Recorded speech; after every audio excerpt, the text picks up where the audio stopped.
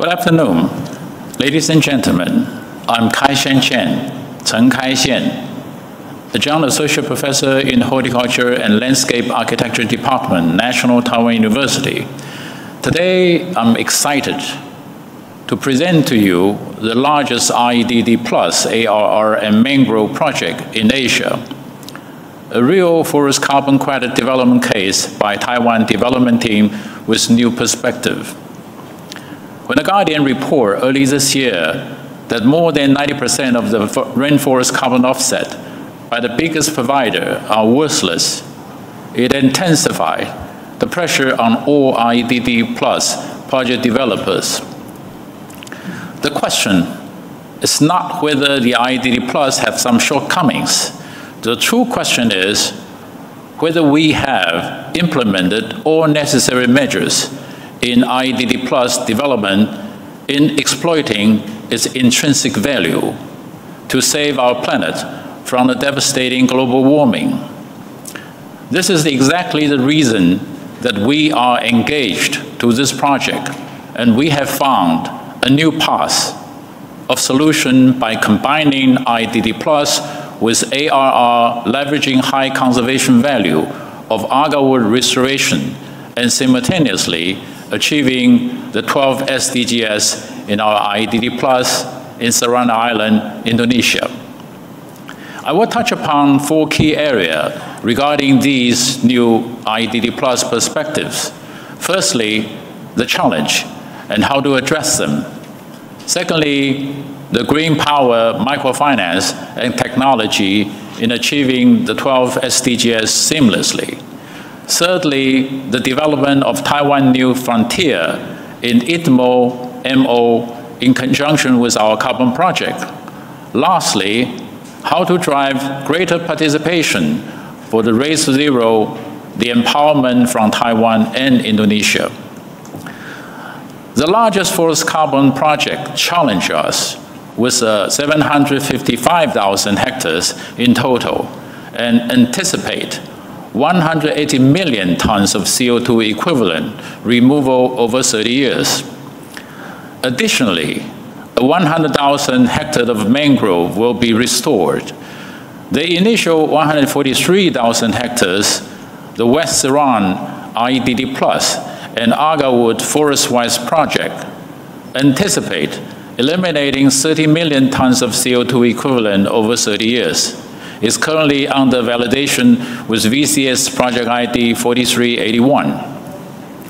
There are six stakeholders, three from Taiwan, Asia Asset Development, Scientific Accreditation International, Forward Electronic, and three from Indonesia, Maluku Provincial Service Forest, Yayasan Mangrove Society, and West Seram Shayano Princess Cooperative. Our biggest breakthrough is con constructing a sustainable income generating scheme which not only achieve high conservation value of mitigating the critically endangered Aquilaria malaccensis agarwood listed in CITES Appendix 2, but also achieving the 12 SDGs in local community. Our recursive social biodiversity improvement assessment, we integrate the forest-wise agarwood restoration silviculture technology with sustainable income generating scheme.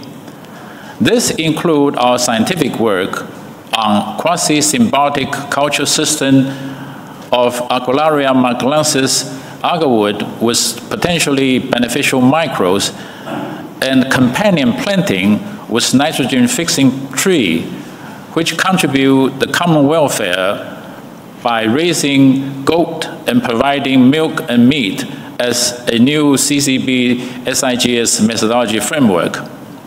Currently, we are building this methodology framework with VCM and ITMO on our own jurisdiction engaged project mitigation outcome. By actively participating the ITMO partnership program, we, Kai-Shen Chen and Scientific Accreditation International, are well prepared for the Article 6.2 and 6.4 of Paris Agreement in echoing the Light International Association Pure Green Foundation called for its follower in planting 1 billion tree before 2050. We're also committed to plant 50 million mangrove tree in our Ceylon Island project through a participatory green finance which link with the Penghu Island Net Zero 2040 initiative. This green finance will further exploit by additional 100,000 plus people pilgrimage procession in Taiwan. Participants work for eight days, accompany Mazu, the Queen of Heaven, to bless the people and this land. This embedded green finance potential will lead participatory tree planting in the coming years and bring our REDD Plus ARR mangrove framework on an ever-increasing scope in the race to zero.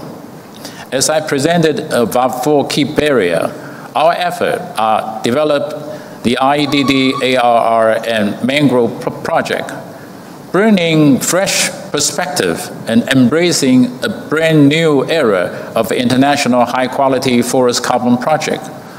Whether through ITMO or MO, we welcome you to join us in this journey, sharing your insight and feedback. This is Kai Shen Chen, Chen Kai Xian from Taiwan. Thank you. As we conclude today's presentation, we have navigated through the first talk, the future just green net zero theatric architecture, to the second talk, revolutionary anti-green washing risk model assessment, to the third talk, bioenergy generation by rice hog and saw with volunteer carbon right with ITMO perspective to the first talk, the largest Asia forest and mangrove protection regeneration project with 12 SDGs and ITMO. Our Taiwan team has demonstrated that the non-state green power momentum is echoing the COP28 three main pillars, industrial decarbonization, accelerating the just green energy transition, the innovation for climate change. All these efforts will lead Taiwan thriving through the cross-boundary 2050 net zero. Together, we can and we will. Thank you.